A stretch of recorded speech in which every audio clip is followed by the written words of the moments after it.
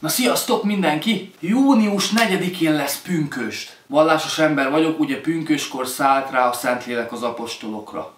Tegye fel a kezét, aki jó volt történelemből. Na mi történt 1920. június 4-én? Fiatalabbak nem tudom, hogy tanulták-e már, de aki olyan idős, mint én, vagy idősebb, biztos, hogy tudja, mit jelent ez az évszám. Magyarországnak az egyharmad része maradt csak meg, a kétharmadát elcsatolták tőlünk. Ezzel kapcsolatban akarok veletek megosztani egy eseményt. Ugye június 4 az összetartozás napja, de másodikától negyedikéig tart az esemény sorozat. Ez a budai várban található, és szerintem mindenki számára fontos ez az esemény, mert ez egy meghatározó dolog volt Magyarország történetében, és érettségén is előkerülhet, úgyhogy olvassátok el a cikket.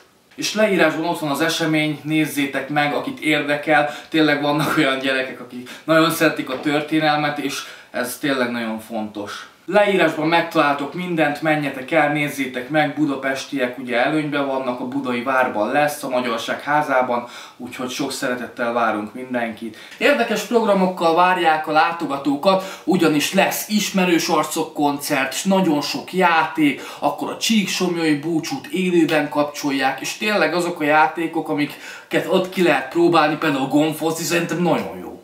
Óriás társas játék, történelmi játszóház. Úgyhogy nem maradjatok ki a jóból, ha jól akarjátok érezni magatokat, akkor látogassatok el.